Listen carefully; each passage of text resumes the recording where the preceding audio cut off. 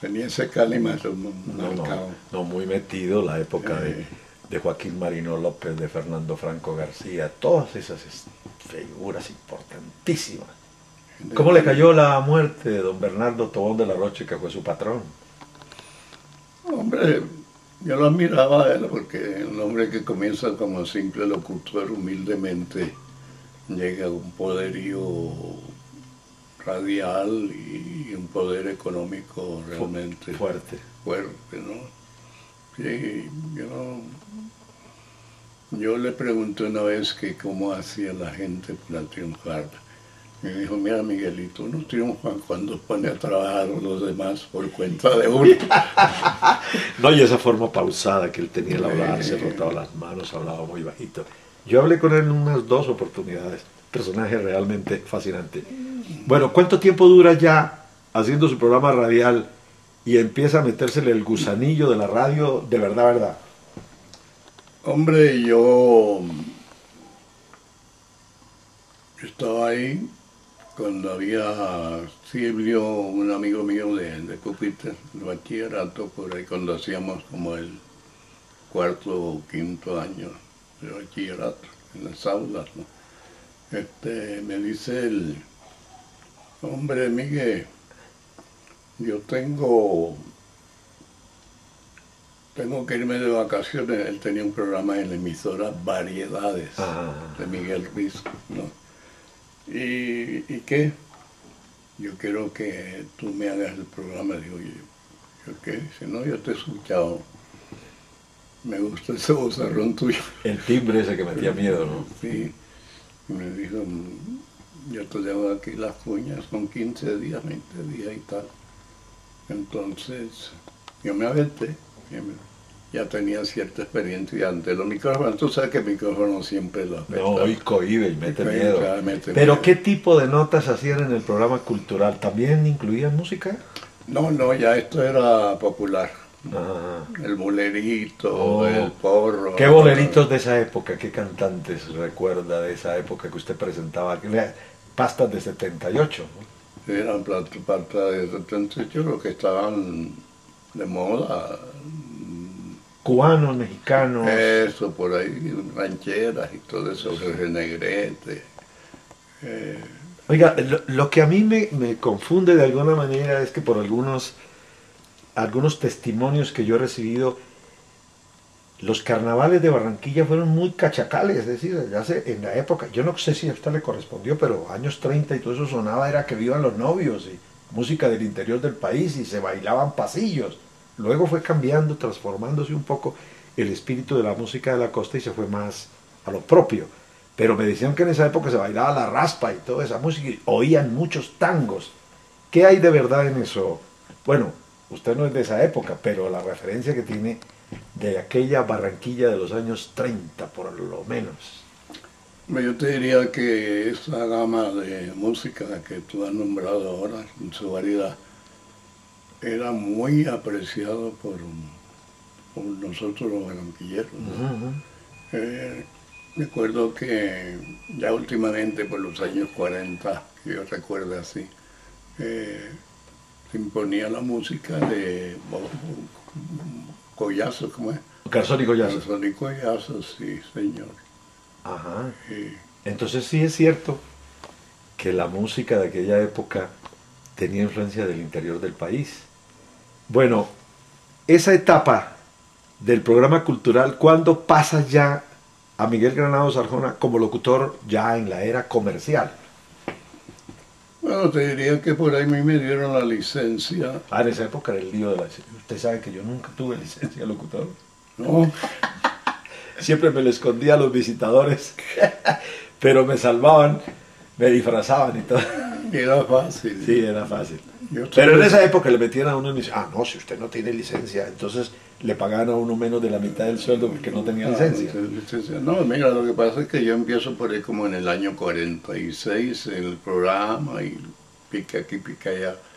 Pero no era mi, mi afán ser locutor, obviamente me gustaba así, pero cuando yo me veo un momento en que no tengo otra alternativa sino esa, me tocó quedarme y me dan la licencia eh, de la B, la categoría B, en el año 50.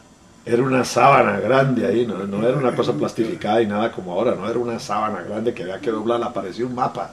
Sí, y resulta que tuve el honor de animar la presencia por primera vez en Barranquilla de Carmen Delia de Pini. Uy, qué bueno. ¿Eso dónde fue? ¿En qué emisora? En CRC, CRC. Cadena Radial del Caribe. Cadena Radial del Caribe, sí. Nando Francosa. Nando Francosa era un gran animador. Uy, un presentador. Yo lo vi en el Teatro Cartagena, en un reinado nacional, de un tipo altísimo, con una voz engolada, con mucho estilo. ¿Cómo fue la experiencia? Esa es la parte cuando ya Miguel Granado Arjona como locutor y animador y presentador, eh, Carmen Delia Dipini y qué otros artistas recuerda. Bueno, aprovechemos para escuchar un tema de Carmen Delia. No debiste alegrarte. Cuando me dijeron. Aquí está, una parada con un artista que después le cuento cómo la conocí en Puerto Rico ya envejecida y con problemas de alcoholismo. ¿Qué otros artistas recuerda de haber presentado en programas de radioteatro? Yo me imagino que usted presentó a, a Nelson en sus, a Nelson Pinedo en sus inicios y bueno, los artistas que despegaron en aquella época, posiblemente Mario Gareña. No, yo no lo alcancé a presentar, sino que Nelson venía y había actuado con el maestro Lastra. Ajá, Pedro Lastra. Reemplazando a un cantante de la orquesta que estaba enfermo. Y por ahí comenzó Nelson, ¿no? la voz de la patria. La voz de la patria de don Clemente Bazán. Qué tipazo. ¿eh? no se movía de la de la emisora todo el día. Oye, yo le admiraba a él. Se venía a pie desde su casa, que era bien lejos de la emisora, pero lo hacía por disciplina. Don Clemente, este italiano, murió a los noventa y pico. Sí, señor. Qué, viejo berraco. A ver, ¿qué otros artistas recuerda de aquella época que usted presentó? Eh, Mira, a mí, visitantes en, Barranquilla. Realmente me tocaron muy pocos, tal vez uno que otro tío por ahí, locales que cuyo nombre se me, me van ahora. Pues. De pronto el trío La Rosa, ¿no fue? No, no, no. ¿Matamoros no anduvo por Barranquilla o sí? Sí, ellos pudieron, pero ya en los años anteriores, en los ah. años treinta y pico por ahí, Miguel Matamoros, ¿no? La casina de la playa. Uh, estuvieron en Cartagena hay por ahí una crónica muy, muy buena. Eso era, eso era una cátedra. Y fíjate que yo miraba mucho a Miguelito Valdés como cantante y para bailar con él, porque la, la orquesta del Casino de la Playa hizo una historia muy grande. Pues permítame hacer una parada porque yo tengo unas grabaciones que me trajo un amigo de Checoslovaquia, de él con la Casino de la Playa. Incluso acabo de encontrar en un disco, ahora me dio después de viejo volver a comprarlo un play, después de haber salido de toda mi discoteca de long play gracias a al doctor Mesa. ¿Ah? uh, Dorian Mesa me, metió otra vez en los discos. Imagínense que acabo de encontrar La Pollera Colorada. Ah, no, Cosita Linda, cantada por Miguelito Valdés. Eso sí no lo conozco. Bueno, lo encontré en un disco de esos viejos que suena rayado, que dice, anoche, anoche, anoche, ¡pam! uno le levanta la agua, soñé contigo. bueno, transcurre una época, se puede decir que ya recibía un sueldo como locutor de planta y todo. ¿Cuánto pagaban en esa época?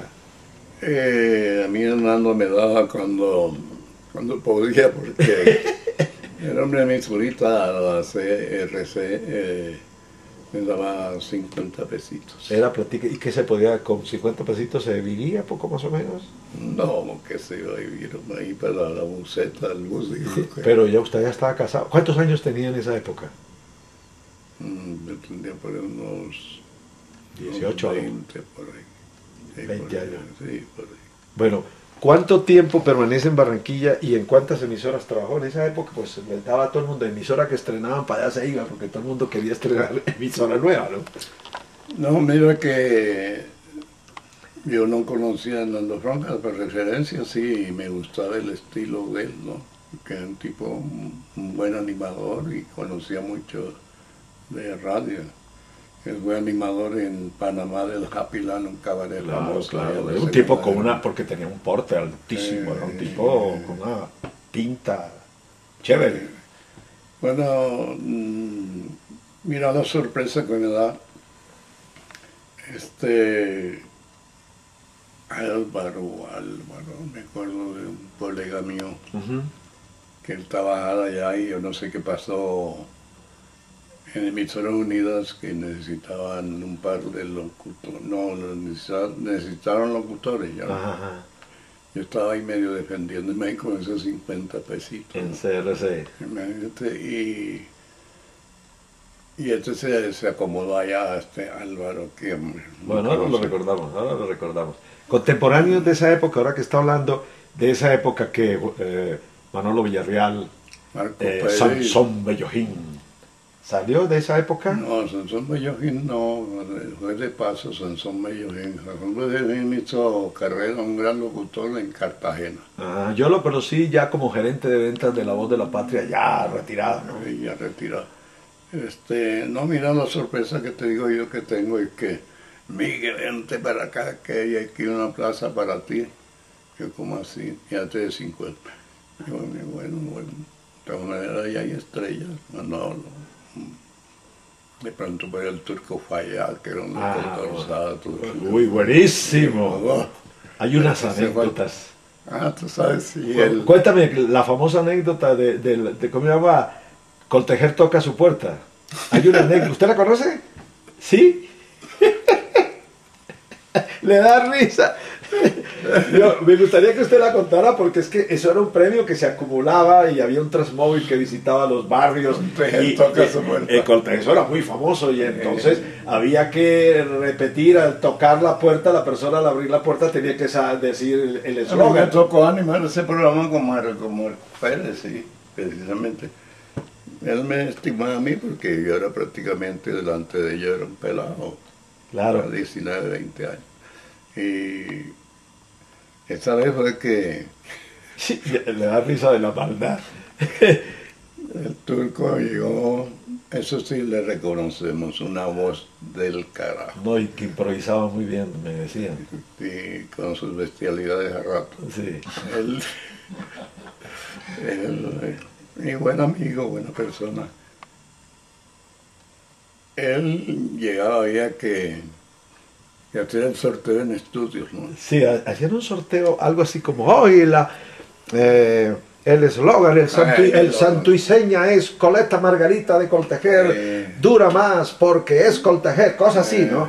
Y, y, si la gente al tocarle la puerta decía Coleta Margarita de Coltejer y daba el santo y seña, pues se ganaba el premio. Me dicen que el turco era un bandido y tenía una especie de saco, chaqueta o chompa y debajo de la chompa tenía escrita en una camiseta el eslogan del programa. Entonces llegaba, aquí estamos en la casa de la familia tal, y le tocaba la puerta y abría la chaqueta para que la señora dijera el, santo y después se arruchaba fiti fiti. Esa es la, anécdota que me habían contado. En esa época se hacían muchas maldades. ¿Recuerda alguna? que ¿para qué contarla? Porque son delicadas. Sí, sí claro, esas no se pueden decir, ¿no? esa es la, verdad, pero yo la admiraba mucho también. Es que había un juego de voces ahí del carajo. Marcos Pérez, tú sabes, un animador. Yo, yo tengo de los mejores. En primer lugar, que, tenía fama de que era duro para pagar, a mí me pagó muy bien. Yo fui subcomercial en, en series mundiales de, el Aficionado. Me quería mucho. Yo, yo entré por, por, por, esas cosas de Dios, yo entré parado en Barranquilla. Sí, yo dije, ¿quién es ese carajo que está al, lado de Marco Pérez ya recién llegado? No, no, que ese es santanderiano, ya la joguita. sí, me fue Era un honor porque Marco Pérez no, había de apellido Castro, que terminó su carrera, o allá está en Venezuela, de apellido Castro. Ah, sí, sí, sí, yo sé. De Castro, Castro bueno. Eh, esa era una llave del carro. Recuerdo aquella cuña que decía él, yo no sé, ¿te acuerdas que decía? El jabón tal, la pelota lava y lava y la pelota nunca se acaba. Claro, claro, claro. Él tenía un comercial eh, que decía algo así como que Ford es Ford, vendiendo los carros Ford.